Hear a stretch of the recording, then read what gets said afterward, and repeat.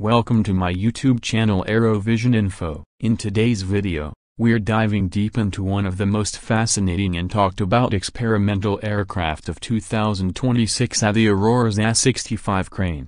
Developed under a collaborative effort between DARPA and Aurora Flight Sciences, a Boeing subsidiary, the X-65 crane isn't just another X-plane, it represents a major step forward in active flow control technology a field that could revolutionize how future aircraft are designed and controlled. The X-65 stands for Control of Revolutionary Aircraft with Novel Effectors, and crane isn't just a cool acronym it's a bold leap toward making mechanical control surfaces a thing of the past.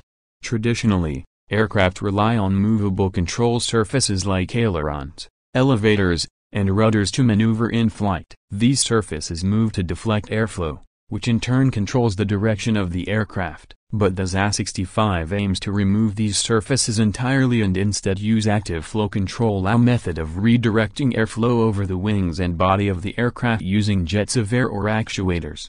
In simple terms, instead of moving a flap to turn left or right, the X-65 manipulates the air itself using small, fast-moving jets or bursts of air from its surfaces. These flow control actuators allow the aircraft to maneuver in flight without changing its shape physically. The benefits? Reduced drag, lower maintenance, less mechanical complexity, and potentially much stealthier profiles. The X-65 is a full-scale unmanned test aircraft with a wingspan of around 30 feet and a weight of roughly 7,000 pounds. It's powered by a single jet engine, similar to a small business jet and designed with modularity in mind. The wing is interchangeable, which means different designs can be tested on the same platform. This makes it an ideal flying laboratory for aerodynamic innovation. In 2026, the X-65 completed its first fully controlled flight using only active flow control. This historic moment was significant and no ailerons,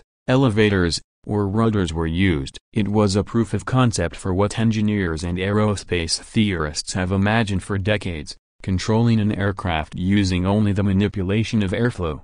Aurora's engineers installed over a hundred active flow control devices across the X-65's wings and body. These devices A including synthetic jet actuators and microvalves A pulse around at high frequencies and adjust pressure gradients across the aircraft's surfaces. When coordinated precisely, they can produce the same control moments that traditional flaps and rudders do. The aircraft also features a simplified airframe thanks to the absence of moving parts. This leads to a smoother surface, potentially better stealth characteristics due to fewer radar reflective edges, and a significant reduction in wear and tear from mechanical motion. In long-term applications, this means lower operational costs and more reliable performance in high-demand environments. But the X-65 isn't just about proving the tech works say it's about laying the groundwork for future military and even civilian aircraft. If this active flow control technology matures, we could see fighter jets that are more maneuverable,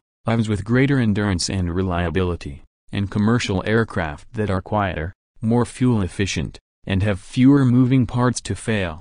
Aurora and DARPA aren't the only ones excited. The U.S. Air Force and Navy have both shown interest in adapting elements of the X-65's control system into their future drone and fighter designs. In fact, the implications for stealth aircraft are enormous. Without hinged surfaces, there's less chance for radar detection. For autonomous drones, fewer moving parts mean simpler maintenance and potentially longer mission durations. In the X-65 program, Test pilots and engineers operated the aircraft remotely from ground stations, testing how the jet responded to various inputs and wind conditions. What's more, advanced artificial intelligence systems were embedded in the flight software to help manage the timing and intensity of the flow control bursts in real time. This AI-driven control architecture is crucial because active flow control involves far more complex coordination than simple mechanical flaps.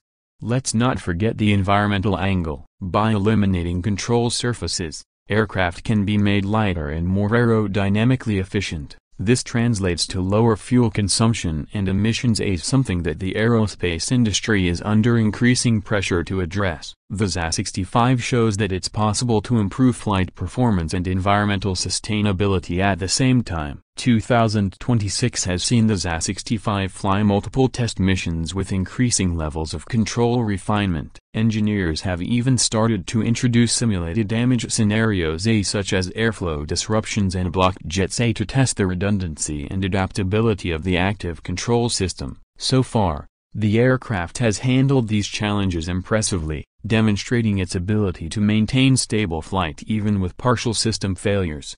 While it may be years before we see an airline Aurora fighter jet that uses active flow control exclusively, the Aurora's X-65 crane is undeniably a glimpse into the future. Its modular design, scalable technology, and promising test results mark it as one of the most important experimental aircraft of the decade.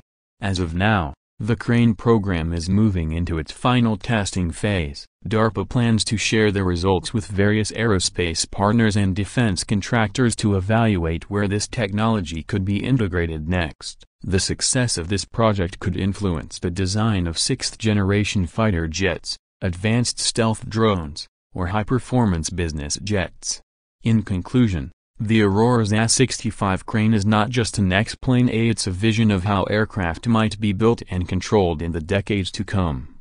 By breaking free from traditional control surfaces and embracing the science of airflow manipulation, the X-65 has proven that aviation still has room for radical reinvention. Thank you for watching. If you found this video interesting, make sure to like, subscribe, and turn on the notification bell so you don't miss our upcoming deep dives into futuristic aerospace technologies. Leave a comment below if you think active flow control will become mainstream in the next 10 years, or if you have questions about the Crane program. See you in the next video A only on Aerovision Info.